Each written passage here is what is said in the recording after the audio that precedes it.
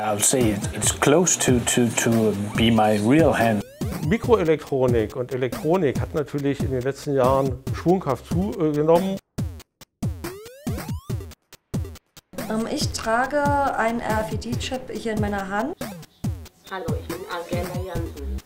Frau Jansen steuert praktisch mit ihren Augen einen Computer, der für sie spricht.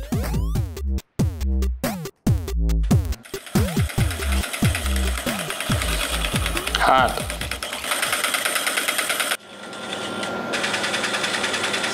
Soft. The main goal of the Nemesis project is to develop a naturally controlled biodirectional uh, hand prosthesis. This means that first we will be able to record in real time the neural activity related to motor commands coming from the brain to the peripheral nerve and use them as much as possible in a natural way for the control of the prosthesis and then we will be able to feedback sensory information to the patient.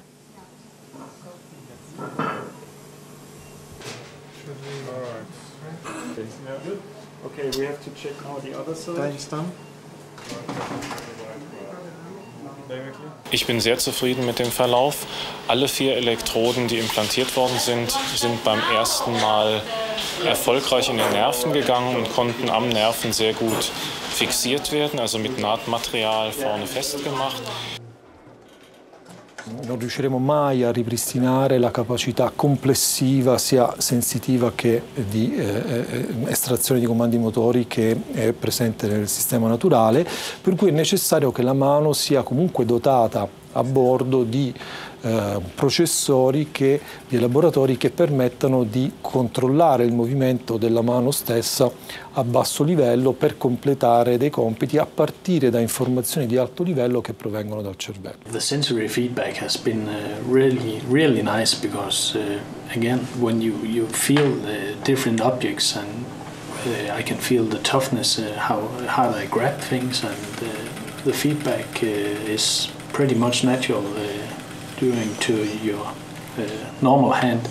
So uh, it's it's really good, and I'm sure that this is the future for prosthesis uh, around the world.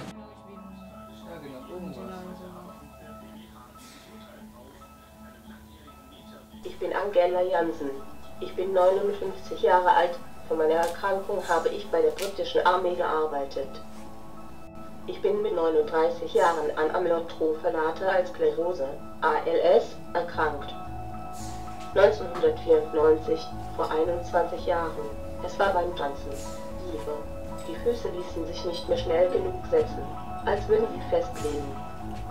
Frau Jansen hat amyotrophische Lateralsklerose, eine neuronale Erkrankung, die dazu führt, dass sie sich nicht mehr bewegen kann, dass sie nicht mehr sprechen kann, dass sie nur noch die Augen bewegen kann und die ihre Mimik vorhanden ist. Ich kann schreiben, den PC bedienen.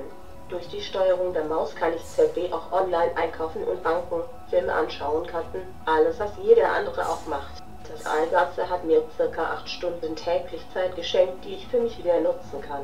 Ohne Allgatze würde ich die einfachsten Dinge elendlangsam auf der Tafel zeigen müssen. Frau Jansen steuert praktisch mit ihren Augen einen Computer, der für sie spricht. Sie braucht ein Beatmungsgerät, sie braucht ein Absauggerät und sie braucht natürlich auch die künstliche Ernährung. Ohne Medizintechnik würde sie nicht mehr leben.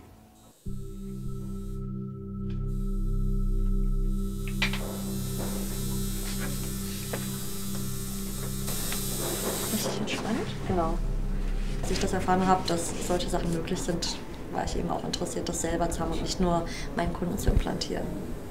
Ich trage einen RFID-Chip hier in meiner Hand. Ich habe einen äh, NFC-Chip hier im Arm, mit dem ich zum Beispiel auch mein Handy entsperren kann und meine elektronische Visitenkarte ähm, drauf habe.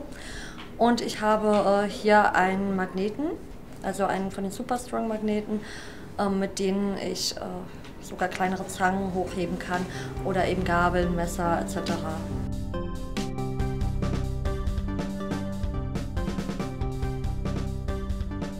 Es ist, als hätte man einen weiteren Sinn bekommen. Ich merke halt, welche Gegenstände magnetisch sind. Das heißt eben auch, wie die Materialbeschaffenheit von denen ist.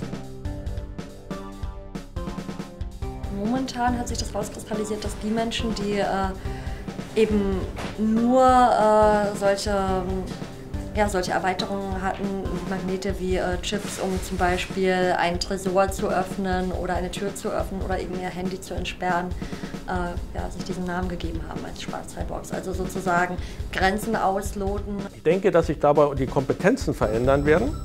Wir werden Kompetenzen dazu bekommen, wir werden Kompetenzen wieder abgeben. Aber ich denke auch, wir werden durch eine solche Verknüpfung angreifbar, manipulierbar es gibt tatsächlich viele Menschen, die eben auch äh, da eine Dystopie äh, in der Entwicklung sehen. Das ist natürlich interessant auch ähm, für den Fall, dass tatsächlich diese Dystopie eintritt und ähm, es zum Zwang wird, Chips zu installieren oder ähnliches. Überhaupt von der Materie genaueres zu wissen, zu wissen, wie man ähm, eben damit umgeht, was was macht. Ich denke, der Cyborg ist in uns. Wir müssen eigentlich nur sehen, dass wir unsere Möglichkeiten, die in unserem Körper und unserem Gehirn stecken, erstmal aktivieren, trainieren und dann wirklich auch nutzen.